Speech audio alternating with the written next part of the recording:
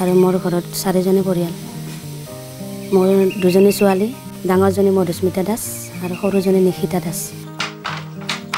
নিজৰ কাৰণে বওঁ নিজৰ অলপ হয় আৰু বেলেগ বেলেগৰ কাৰণে নবওঁ নিজৰ কাৰণে বওঁ মানে এনেই ঘৰত এনেই থকাত ধৰি। তাই পঢ়ি কিনে খুব ভাল পায়। মানে স্কুল ক্ষতি নকৰে কোনোদিনে স্কুলত সদায় যায়ে ভালকৈ। মই সুধোঁ আজি কি শিকালা কি কৰিব দিছে কি পঢ়াইছে? গোটেইখিনি আহি কিনে কয়। মই স্কুলত আহি পঢ় পঢ়বা আহোঁ। পঢ়ি কিনে বৰ ভাল পাওঁ। মই এটা ডাঙৰ মাষ্টৰ নিব খুজোঁ। পঢ়ি শুনিতো বাইদেউ হ'ব বুলিয়ে কৈছে। মাষ্টৰ নিয়ম বুলি কৈছে। এতিয়া আগলৈকে নাজানো আৰু কি কৰিব পাৰোঁ। পাৰালৈকেতো যত্নই কৰিম।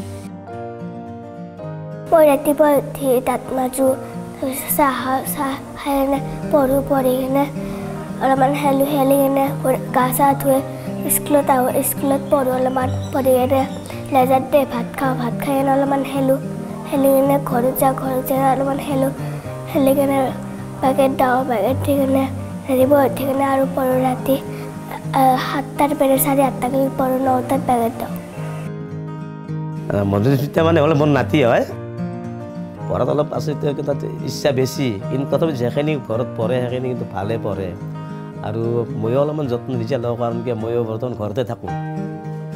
আৰু শিক্ষাৰ যিটো পৰিমাণ যিটো ওজন আছে ওজন বা পৰিমাণ হয় না? বহুত বেছি। মানে ভাববা নোৱাৰি তাৰমানে। এইটো ভৱিষ্যতৰ নিজৰ দেহাটোৰ যিটো ভৱিষ্যত আছে বুলি কয় সেইটোৰ কাৰণে আৰু আনৰ কাৰণেও আছে এইটো।